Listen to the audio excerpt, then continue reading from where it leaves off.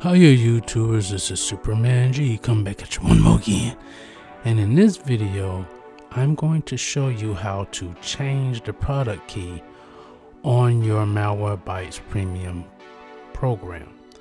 This comes to me as one of my subscribers asked me to show them how to update the product key to their Malwarebytes program. Now you don't have to uninstall Malwarebytes in order to input the new product key from the updated version that you may have bought.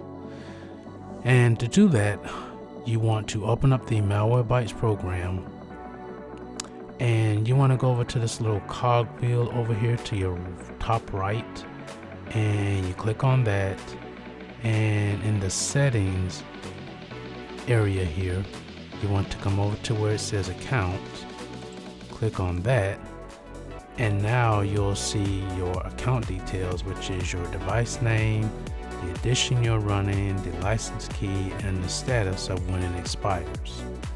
You can also turn on or turn off auto renewal here.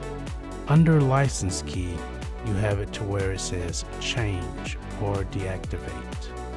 So you want to click change when you click on change, it's going to pop up this other window that says you can either sign into your Malwarebytes account or you can just enter the license key.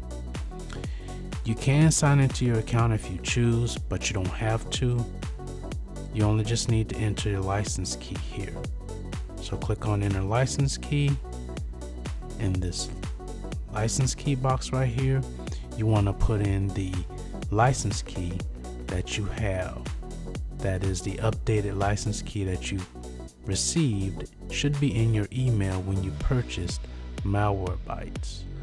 Once you enter the key, you click on activate and from there the information on the status area it should say expires in 364 days and it should be updated with the new license key that you received in your email. And that's it. That's pretty much all what you have to do. I hope this helps you guys out. You all take care, be safe, and peace out.